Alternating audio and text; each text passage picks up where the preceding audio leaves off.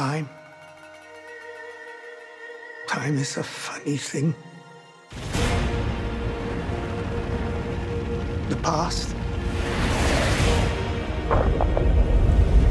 The future.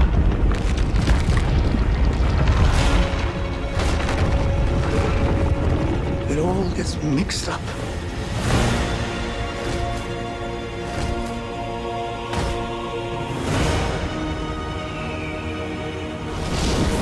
There's only one way to keep it straight.